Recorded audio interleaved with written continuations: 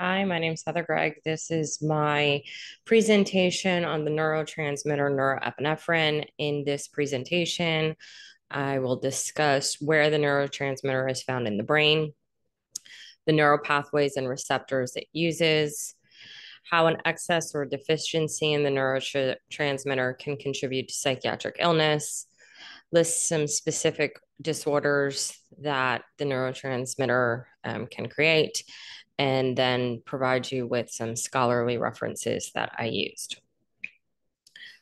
The location of this neurotransmitter, according to our text, Kaplan and Sadock's, can be found in the brain, more specifically in the medulla and the pons. The two minute neuro video on norepinephrine more specifically locates the locus coeruleus as the main site of production and that it can also be found in the sympathetic ganglion cells, which are near the spinal cord, and released as a hormone by the adrenal glands. This image that I have on the screen um, gives a nice representation of where the pons are located at in the brain, where the medulla is in the brain. It highlights the locus coeruleus and shows you also where the spinal cord is. The next topic that we'll be discussing is the pathway that this receptor or this neurotransmitter takes. So the life cycle of norepinephrine starts within a neuron and it needs to be a neuron that is tasked to make norepinephrine. An example of this would be a postganglion sympathetic neuron. With the active transport, trypsin, trypsin moves into this catecholamine secreting neuron cytoplasm. Trypsin is then converted by trypsin hydroxylase into DOPA. DOPA is then converted by decarboxylase into dopamine. Next, dopamine is actively transported into the vesicle by a vesicle monoamine transporter, also known as a VMAT. The vesicle is now filled with dopamine. And if the neuron's job was simply to secrete dopamine, the transaction would be done. However, since we are talking about a postganglionic sympathetic neuron, we want to make norepinephrine. So the life cycle of norepinephrine is that dopamine is then converted by dopa beta hydroxylase into norepinephrine. At this point, the norepinephrine is stored in the terminals and it's released into the postsynaptic cleft when an action potential depolarizes the membrane and calcium flows into the vesicle. Calcium interacts with the vesicle, causing them to fuse with the presynaptic membrane, and it releases the norepinephrine into the synaptic cleft. Norepinephrine only remains active for a few seconds and has a rapid reuptake and diffusion it reacts with the receptor, the adrenergic receptor, and we have um, a few types of those. There's an alpha adrenergic receptor.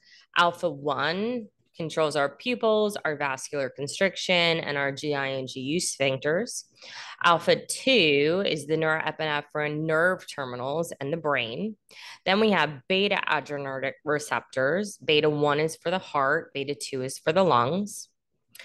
Once the um, norepinephrine has the contact with those beta adrenergic receptors, it then uses it and then it releases it back into the synaptic cleft. When it gets released back into the synaptic cleft, three things can occur to remove it. It can either be reuptake into the adrenergic nerve ending via the nerve norepinephrine transporter, which is the NET, and that's about 50 50 to 80% of the norepinephrine is taken back into the vesicle by the VMAT. and it's almost like a recycling program.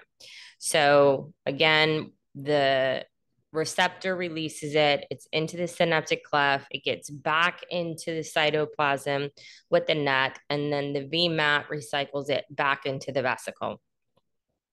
The second action could be it diffuses away from the synaptic cleft and goes into the bloodstream.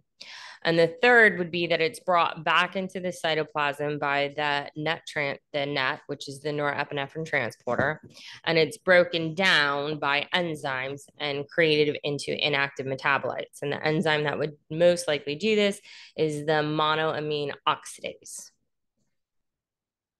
So now that we know the life cycle, we have to think, well, how can norepinephrine contribute to illness? And we can examine it by what norepinephrine does in your body. So the generalized body gets increased heart rate, increased blood pressure. It triggers glucose to be used as energy. It increases blood flow to your skeletal muscles. It reduces blood flow to your GI system, which reduces motility. And it also inhibits voiding none of that really would contribute necessarily to a mental health illness or a psychiatric illness.